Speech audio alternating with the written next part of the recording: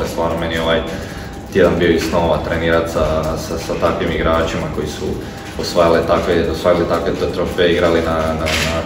na, na tolikoj razini u tim velikim klubovima, stvarno mi je bila čast i zadovoljstvo i naravno i trener i stožer i stvarno su me svi odlično prihvatili. I jednostavno stvarno sam se iznenadio koliko su to u stvari jednostavni ljudi, koliko tu nema nekog, nekog onako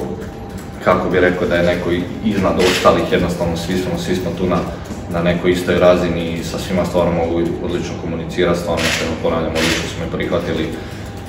od najstarijih igrača, naravno, Modrić, Kovačić, svi u stožeru, isto stvarno treneri, ono, sve pomoći svima.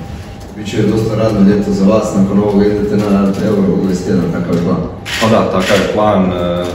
evo, ne da se već drugu, treću godinu zaredom da neće imati nešto pretjerano odmora, ali to je tako u sportu i da se treba primiti što prije i to je to, meni je drago da, da je tako.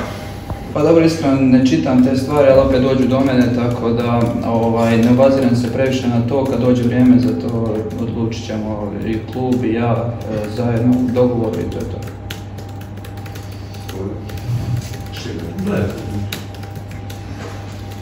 Ja ću još malo vratiti na, nažalost, ozljedu Guardiola. Vjerujem da je to ono bude šok igračima, svaki dan ste zajedno, standardni reprezentativac. Koliko to psihološki može utjecati na vas kao momčad i na kraju krajeva na izvedu na, na terenu? Pa ne znam šta još da kažem, kao što sam rekao, svjesni smo njegove kvalitete, svjesni smo svega, ali jednostavno to je tako u nogometu, moramo nastaviti, fokusirati se na nizozemsku, nemamo vremena za neko žaljenje, tako da naravno da nam je žao, ali tako kako nemamo baš puno vremena.